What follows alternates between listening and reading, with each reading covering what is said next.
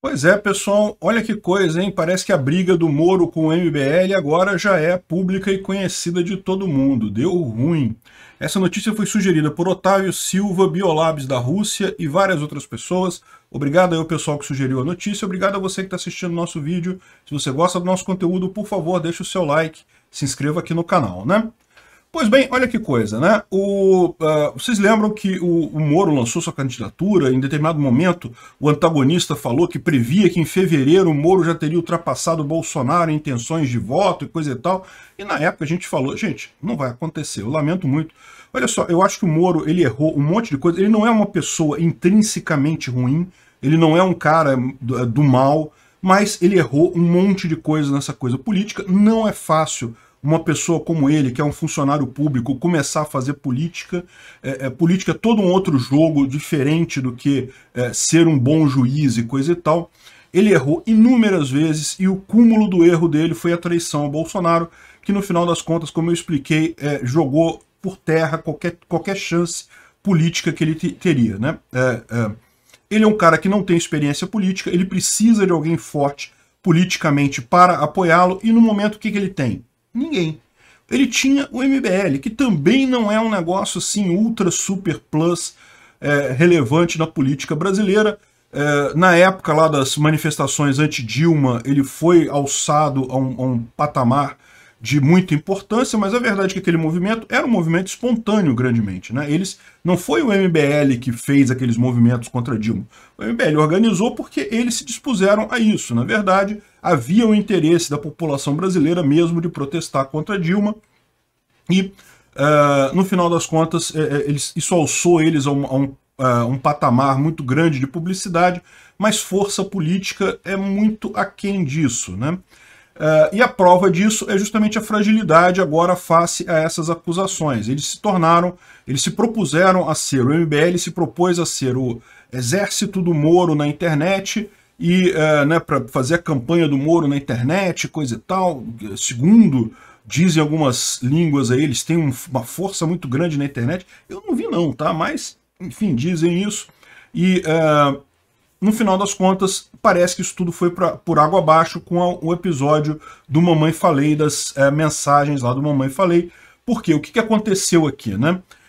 Mamãe Falei falou besteira e é, o Moro viu o impacto disso e lançou uma nota, vocês lembram, logo no início, dizendo que, pô, que lamentava e coisa e tal, que o Arthur realmente é, se exagerou, uma nota criticando o Arthur. E o MBL não gostou disso, o MBL ficou chateado. Depois o Moro viu que, que é, o MBL brigou com ele, aí até voltou atrás, né? Falou, não, vamos continuar juntos e coisa e tal.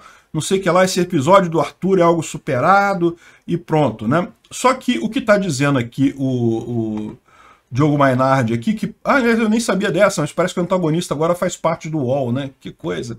Quem diria que era tudo esquerdista, né?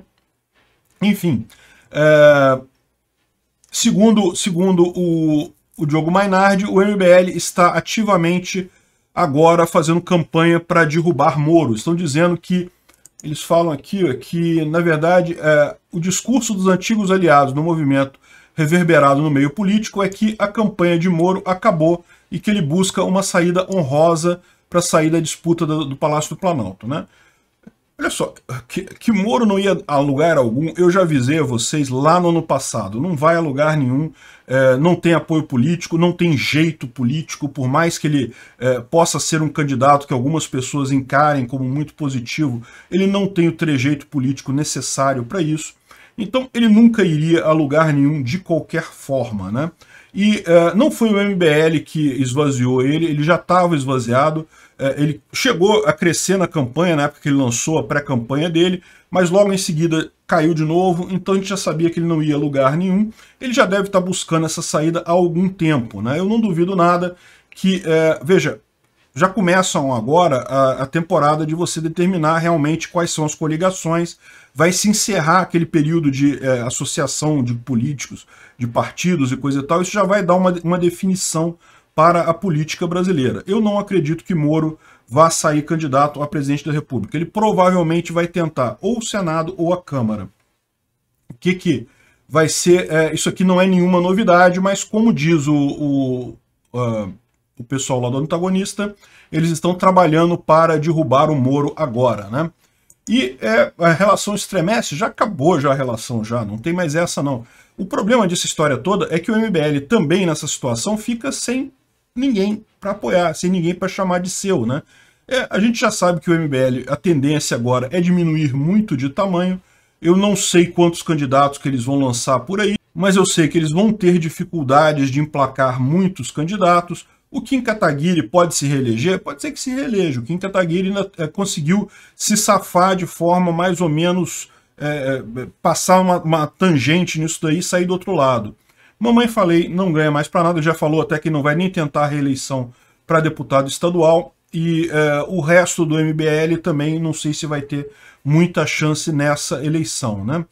Vamos ver o que vai acontecer, mas o a minha previsão é que o MBL vai cada vez mais se desmanchar aí em relação à insignificância. Já tem muitos quadros que já saíram do MBL, como o, o Holiday, e a tendência é isso cada vez mais acontecer. Né? Infelizmente, é, houve uma época que eu levei fé nos meninos, viu? Eu achei que eles podiam fazer alguma coisa positiva, eles tinham um discurso de liberalismo econômico e não sei o que lá, não sei o que lá, mas essa minha fase de achar que saiu alguma coisa dali acabou com a pandemia.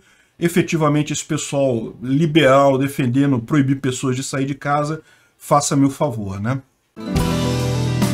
Obrigado por assistir o vídeo até o final.